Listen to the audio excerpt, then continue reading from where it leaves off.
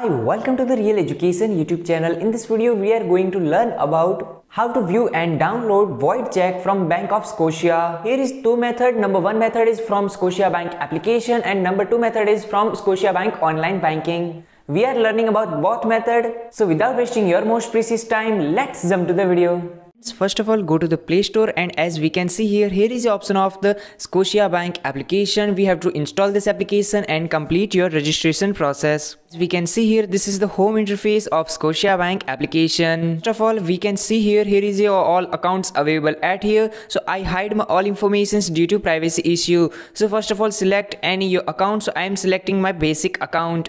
After selecting your account, you will see here is the three options available. Number one is the transfer form, number two is the send money, and number three is the more. And here is also option of the transaction and account information. So we have to tap on the account information on this icon. If you are still facing any problem then please tell me in the comment section I will surely try to help you. Now friends as we can see here here is the option of the view all statement. If you want to view and download your statement then you can click on this icon and uh, for void check scroll down your mobile screen. We can see here friends here is the number one option is the account number then is the on hold amount overdraft limit and then here is the option of the available balance in the end. As we can see here direct deposit slash void check information. So if you want to view your void check then tap on the view details and you can view your void check at here. Now friends, we are going to learn about how to download your void check from online banking of Scotiabank.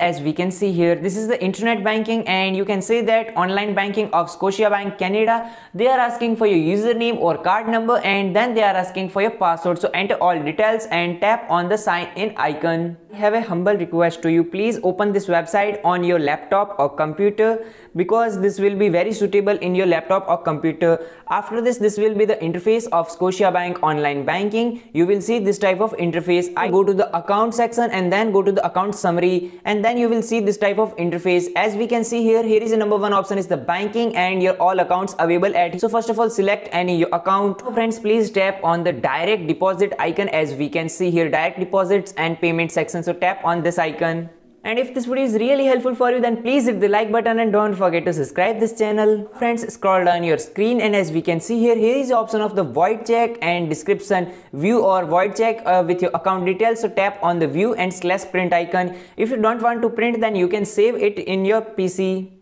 Friends, if you don't have any printer, then go to the office and you can print from your office or your schools. Demo void check as we can see here. If you are enjoying this video, then please hit the like button and don't forget to subscribe this channel. Thanks for watching this video. Jai Hind, Jai Bharat, Vande Matram.